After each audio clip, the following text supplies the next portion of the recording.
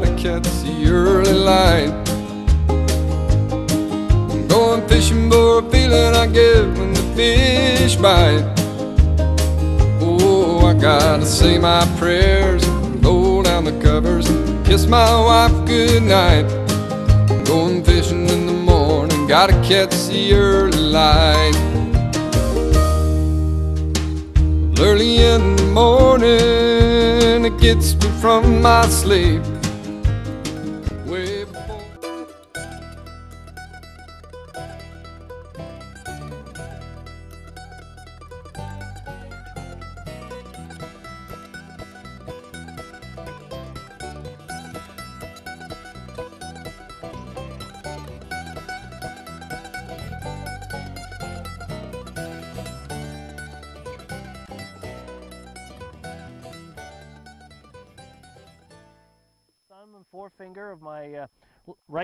This case because I'm a right-handed caster. Just feel you get a better uh, sensitivity and I'm just going to slowly bring the fly in and choose a pace that matches the food source you're imitating. So for chironomids, it's going to be extremely slow. If I was perhaps imitating a damsel, I might be a little faster. I could be a scud. I could go fast for a second, pause, strip, fast, pull, and mix and match this to imitate whatever food source you've got on the end of your line. The other method we can do as well is simply place the line under the forefinger and just strip it. We can do long, slow pulls place the paws in there and see if we have any response. We can do what I call the four to six inch pulls, or we can do short choppy variations, or even for chironomids, if you struggle with the hand twist, is just pinch the line, just like this. I'm moving it in about one half to three quarters of an inch, and I'm just pinching it along ever so slowly like this. This retrieve for chironomids takes a bit of discipline because it's quite uh, common and easy to go a little faster, go a little faster, and pretty soon you've got uh, a warp speed chironomid, which is uh, not too effective. So you want to keep things, most retrieves in still waters that I can think of, it's better err on the side of slow and methodical uh, with pauses here and there uh, than anything fast and steady. So again, those are the, the retrieves you got to do because in still waters, your hands do all the movement of the fly. You don't have any current per se like you do in a river or stream anyway to move the fly uh, through the water column or help get that fly to come to life. What I'm doing here, Jack, is just a technique known as wind drifting. I'm just, I've actually, it's almost like fishing a river. You can see I'm throwing little mends and I'm allowing, I'm just watching that indicator and allowing that uh, fly to sweep through the water column. I'm fishing two chironomid pupa here, two varying sizes and colors to cover all my options. And I'm just allowing the wind to sweep that fly through the water column. Very, very slow retrieve. I'm just taking contact. I'm not even really pulling on the fly at all. Um, if you like, you can give the fly the odd sort of 6 to 12 inch pull, make that indicator move. What that does is pitches those chironomids up, and as you release your retrieve, they kind of flutter back down again, and it does a great job of suggesting the rise, fall, rise, fall motion of an emerging chironomid pupa. They're still rising, Phil. You need to get them. I know. You know what we left? All our flies in the boat Yeah, I think we could use some uh, lunches. some of those crazy rubber leg patterns of yours that might. Well, I'm uh, to run back and get the boat while Okay. you teach our friends some of the other techniques from the shore. I'd be happy to, Jack. How's that? Hurry back. Right, don't worry. I'll hurry back with the lunch and the flies. But I, you know, the old story though. I got to do this. I got to do one more cast. Look at that. Keep rising over the Yeah. place. What do you think they're rising for?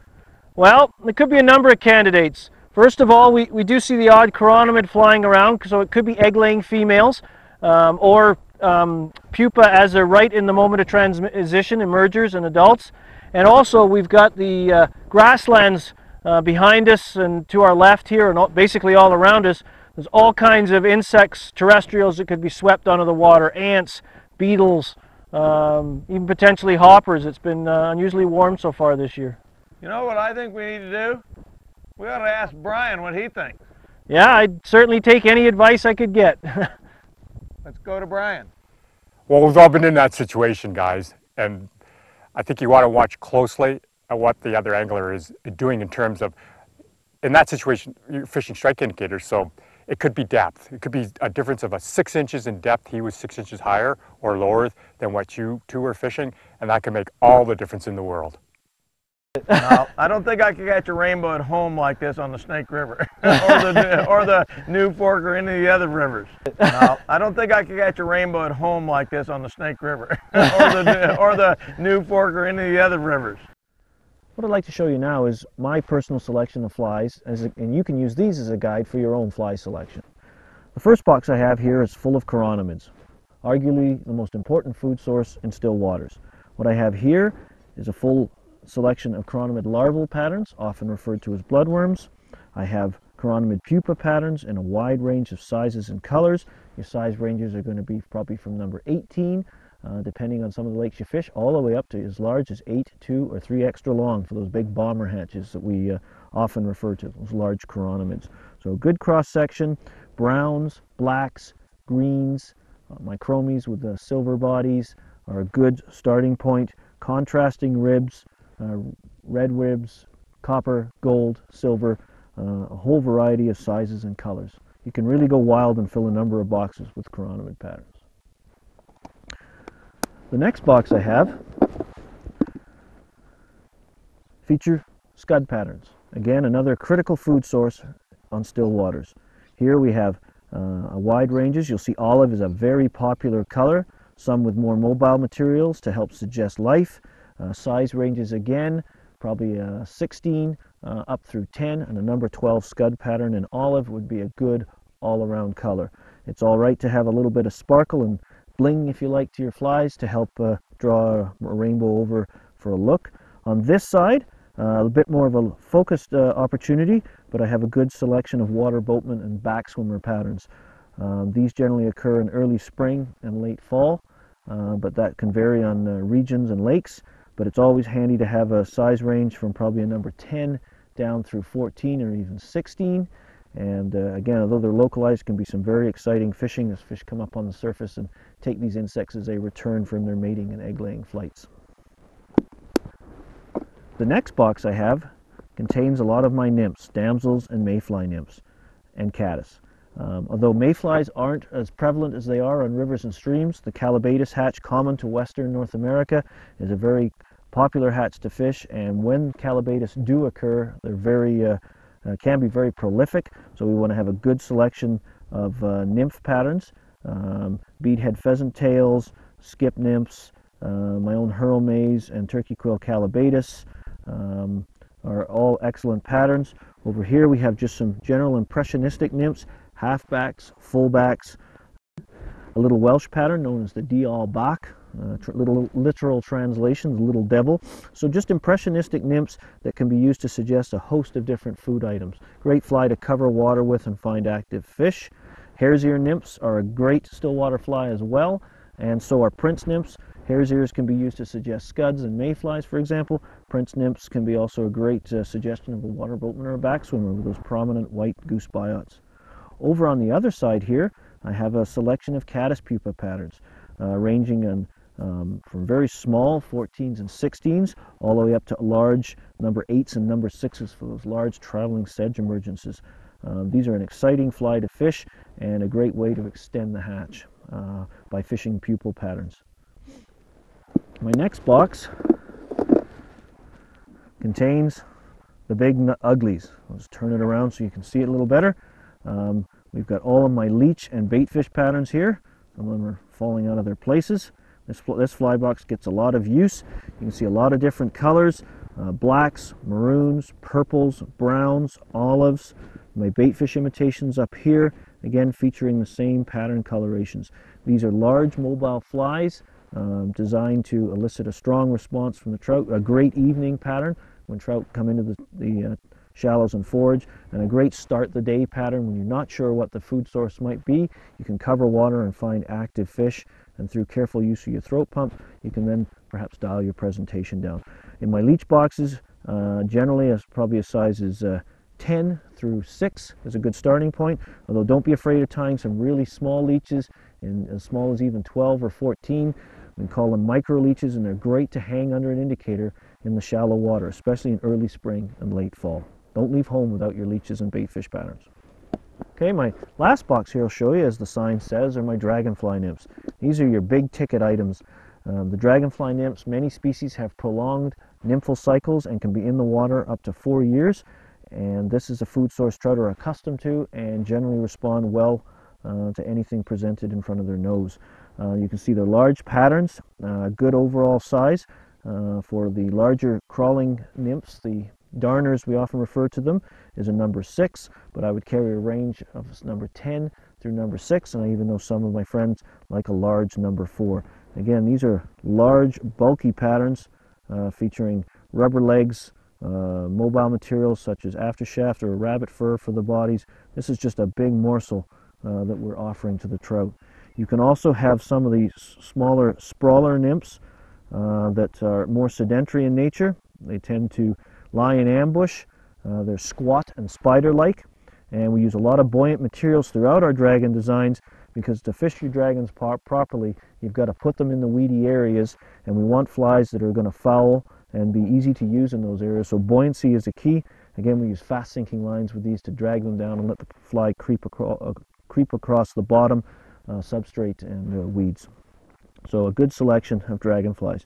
You can also bring your river and stream dry flies along, uh, Elk-hair caddis, um, your Adams, your parachute patterns, your terrestrials, your Chernobyl ants, those all have a place in still waters. Most of the stillwater fly fishing is going to be subsurface uh, but you need to have uh, some dries and emergers on hand for those times when they do come up on the surface and feed. So there you go, a quick cross section. Again, you can fill as many fly boxes as you can buy, and that's part of the fun and allure of fly fishing, and especially true in still waters. What I'd like to show you now is my personal selection of flies, a, and you can use these as a guide for your own fly selection. The first box I have here is full of chironomids, arguably the most important food source in still waters. What I have here is a full selection of chironomid larval patterns, often referred to as bloodworms. I have chironomid pupa patterns in a wide range of sizes and colors. Your size ranges are going to be probably from number 18, uh, depending on some of the lakes you fish, all the way up to as large as 8, 2, or 3 extra long for those big bomber hatches that we uh, often refer to, those large chironomids. So a good cross section, browns, blacks, greens, uh, micromies with the silver bodies, are a good starting point. Contrasting ribs, uh, red ribs, copper, gold, silver, uh, a whole variety of sizes and colors. You can really go wild and fill a number of boxes with chironomid patterns. The next box I have feature scud patterns. Again, another critical food source on still waters. Here we have uh, a wide ranges. You'll see olive is a very popular color some with more mobile materials to help suggest life. Uh, size ranges again, probably a 16 uh, up through 10, and a number 12 scud pattern in olive would be a good all-around color.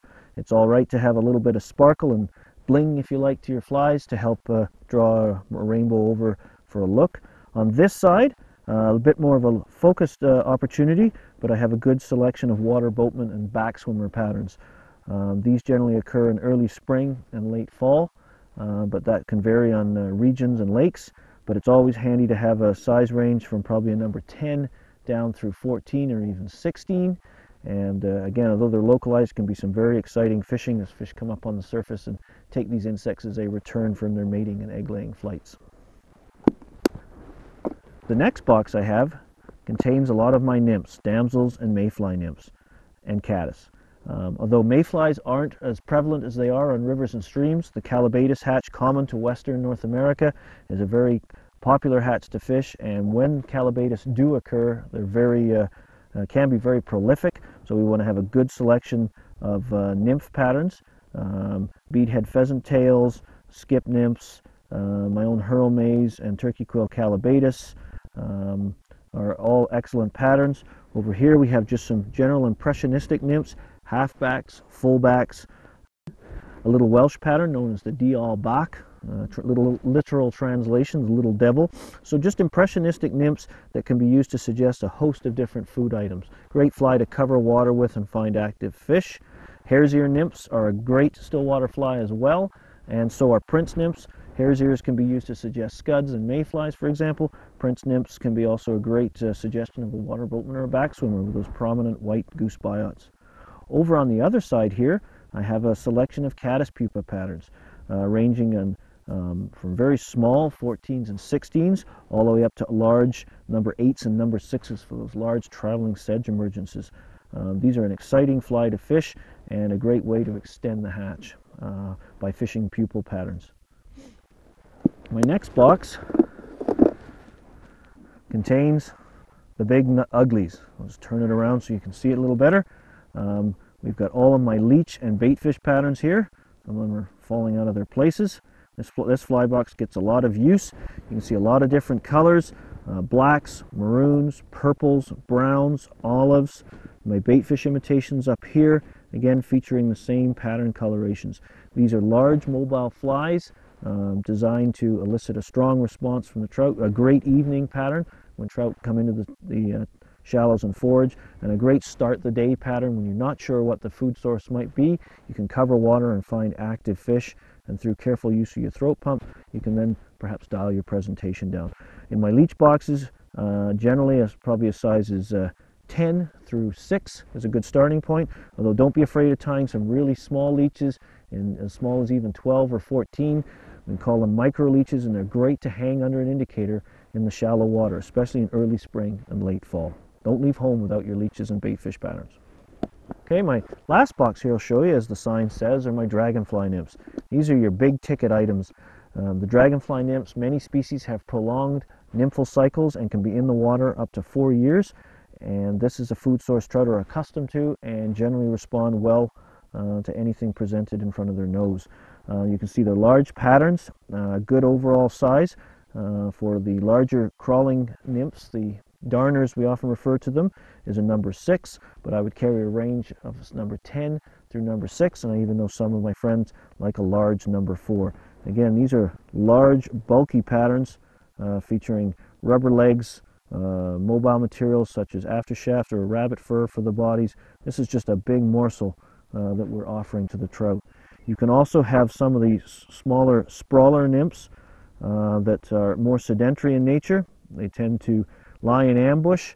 Uh, they're squat and spider-like, and we use a lot of buoyant materials throughout our dragon designs because to fish your dragons properly, you've got to put them in the weedy areas, and we want flies that are going to foul and be easy to use in those areas. So buoyancy is a key. Again, we use fast sinking lines with these to drag them down and let the fly creep, acro uh, creep across the bottom uh, substrate and uh, weeds. So a good selection of dragonflies. You can also bring your river and stream dry flies along, uh, elk hair caddis, um, your Adams, your parachute patterns, your terrestrials, your Chernobyl ants. Those all have a place in still waters. Most of the still water fly fishing is going to be subsurface, uh, but you need to have uh, some dries and emergers on hand for those times when they do come up on the surface and feed. So there you go, a quick cross section. Again, you can fill as many fly boxes as you can buy, and that's part of the fun and allure of fly fishing, and especially true in still waters. Starting to get into the mid-afternoon, warming up. Uh, it's dragonfly time. If this was uh, probably a hot August day, we'd be definitely looking at the dragonflies. But you know, the dragon, uh, the dragonfly nymphs are always in the water. Yes, they are, Jack. And you you told me that, by God, this fly could work right now. Mm -hmm. But tell us a little bit about the uh, uh, fishing these these dragonflies and a little bit of why you tie it the way you do. Well, I pretty well tie all of my dragonfly patterns the same basic philosophy, and that's one focused around buoyancy. And what we've got here is a uh, grizzly dragon. Uh, it's had a dunking already, and you can see um, before, when the fly is dry, it looks like a bit like a feather duster but once it gets wet, all the uh, marabou lies down, and this fly has a buoyant core with a foam underbody and foam eyes, uh, borrowed from an, an, English pattern called the booby. And the idea of this, I'm fishing this fly on a fast sinking type 6 fly line with a very short leader. I've probably got four or five feet of leader, that's it. And the concept being that the fly line pulls this fly, literally drags it under the surface, and the fly line is actually lying along the bottom and I'm just creepy crawling and inching this fly along and because it's buoyant in nature it's going to resist hanging up on the bottom and fish can come up behind it and, and take it in. And takes to this are usually pretty solid. So what we're doing here is I've cast the fly line out and I'm just right now I'm using a variety of retrieves, a steady hand twist to imitate a nymph that's just out and about looking for food. They're very predatory in nature so I'm just imitating the flies that's crawling over the bottom. I can add a few quick strips to draw attention to the fly and then let it sit. And dragonflies have the ability to shoot water um, out of their, their uh, abdomens, out the backside, and they can jet along in four to six inch bursts. And they use this to escape uh, potential predators such as trout or other larger dragonfly nymphs, and also as a last sort of bull rush when they uh, attack whatever prey they've got in mind. And they can eat and tackle. They'll eat small minnows, uh, each other, damselflies, mayflies, chironomid larvae, pupa if there's one hanging near the bottom. They're just voracious predators. In other words, they're very crude insects. It's yeah. exciting to see fish moving on a lake. I, I think that's uh, one of the things a lot of anglers miss when they say, ah, I don't want to go to the lake because it's always dripping flies in. And when they're close to the surface, it's going to be, it's like fishing a spring creek. Yeah, it's very exciting. Well, there All you right. go, Jack. Proof in the pudding. Well, it's about time to get my fly out of the way. This looks pretty neat. Yeah, he's nice and silver bright, and he's yep somewhat upset with what's going on right now. So yeah, this is what I like about.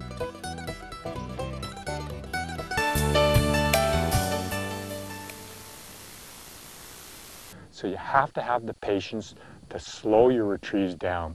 There's no point in doing 12 to 20 inch fast strips when you're trying to imitate a chironomid pupa. That's not how they swim and you're going to be unsuccessful. So you need patience. Secondly, when you're fishing out of a boat or even out of a pontoon boat, you want to make sure you have complete control over your retrieves. That means double anchoring, a bow out, an anchor out the bow, an anchor out the stern. That way, the, when the wind shifts direction, your boat's not going to move and you're going to maintain control of your retrieves. Third, a very common mistake we see is that even before you get out on the water, take 30 seconds to a minute to straighten out your monofilament leader. Get the coil, get the memory out of the butt section of your leader so that when you lay a, a cast down, you've got a straight line connection between your fly rod, your fly line, your leader, and your fly.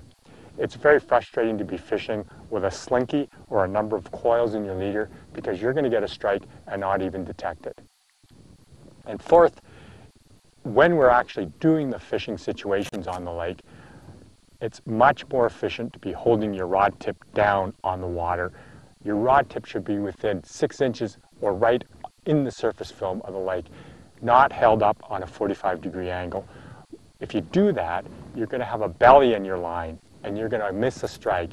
Again, we want to have a straight line connection as possible between your fly rod, your fly line, your leader, and your fly. So keep the tip of your rod right on the water. If you just thought about those four tips there, it would immensely improve your success rate on any waters you plan to fish.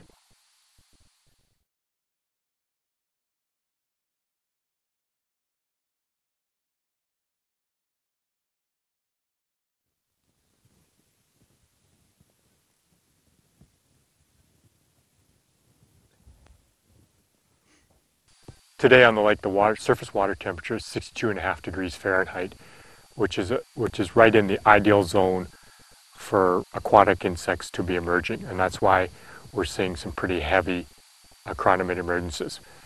That temperature range between 50 degrees Fahrenheit and about 67, 68 degrees Fahrenheit means there'll be a lot of invertebrate activity, which would include leeches, which would include damselfly nymphs, dragonfly nymphs, uh, mayfly nymphs, and all those different species of insects uh, were, are also going to emerge according to the water temperature. And the way it usually works, the way it always works, is the chironomids or midges hatch first, and then they're often followed typically by mayflies, which are followed by the damselflies, and then the dragonflies, and then between damsels and dragons, or sometimes at the same time, you'll see the caddis. And then finally in the fall, uh, you'll see a lot more water boatmen activity, but that's not more related to water temperature. That's because they're doing their fall swarming and uh, mating flights. Barometric pressure is one of those discussion points that there's many diverse opinions on how it affects fish and their activity levels. I think it's safe to say that when you have stable or rising barometer, that means the weather is going to be stable. And if you look at animals in general, like wildlife, they're much more active when the barometric pressure is stable or rising. Similarly, uh, in the aquatic environment, when you have a stable or rising barometer, things are pretty good. Insects are hatching and fish are generally happy. What happens when the barometric pressure declines rapidly? That it, it tells us that there's a storm coming in, and there could be some issues with barometric pressure, barometric pressure affecting subsurface or aquatic um, insect and fish life. I guess it's safe to say that when the barometer is falling or crashing, oftentimes the fishing is poor. And again, there's many variables why that's happening, but that's pretty well a statement of fact and something we have to live with as anglers.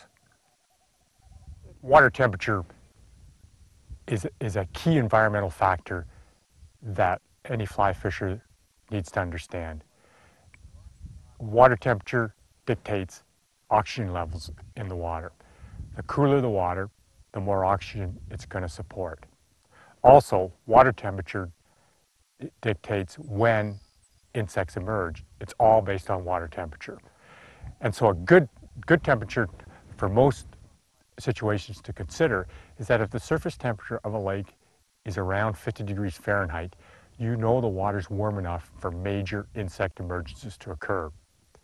Conversely, in the mid or warm parts of the summer, when the surface temperatures of the lake reach in excess of 70 degrees Fahrenheit, you know that their fish are going to be uncomfortable because there's going to be a lot less oxygen in the water. And those, and those warm days when the water gets that warm, that's when the angler really has to consider if you're fishing and you're catching fish, you want to play them quickly, get them into the net, release them as soon as you can because you don't want to put them into any more stress than they already are in when trying to live or survive in that warmer water.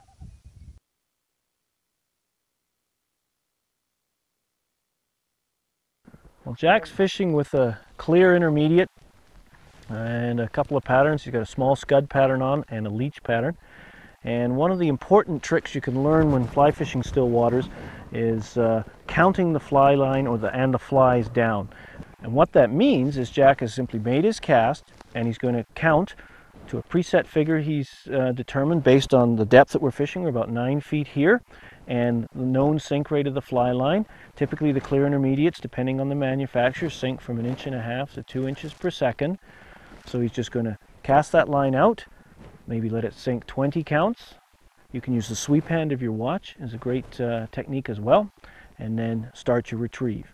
If he doesn't get any, if he doesn't touch bottom, or he doesn't get a, a uh, take, on his next cast, he may let it sink 25 seconds, and he may touch bottom.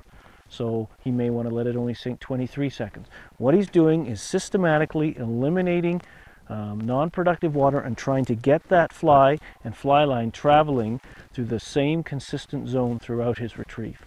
And that's the key to being successful on still waters is finding that depth the fish are holding at and consistently placing the fly there. One of the things I do with a sinking line, no matter whether it's a, a full sinker, a type 6, 4, whatever, is that I stick my rod right straight down in the water. That'll help the sink rate and and I count by 21, 22, 23. You know, I'll pick like, you know, 60 or whatever I want to be. But it's just about the second, 21, 22, 23. And, uh, and then just work my way, go all the way deep, work my way up. Also, when I come back, I, I uh, change my strips. I'll maybe go a little fast at first, drop, then just try all different patterns of, of stripping. When I'm fishing uh, uh, these leeches and streamer type patterns on the bottom. Uh, I start fast first, and if and if I don't get anything, then I slow it down, and I and I do at least three or two to three casts per depth with different retrieves. So not only have I covered the depth, but I've also covered uh, the types of retrieves, and I and I've done it. In, maybe it'll only be two or three, uh, but I tried within the same strip, and I try to remember what strip really took the fish.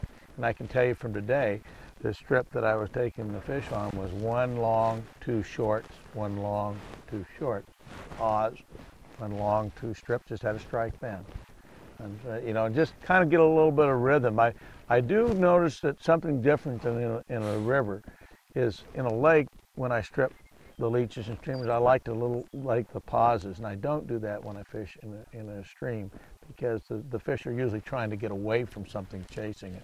Here, they're just minding their business, aren't they? Yeah, we're just trying to imitate a leech that's moving from point A to point B. And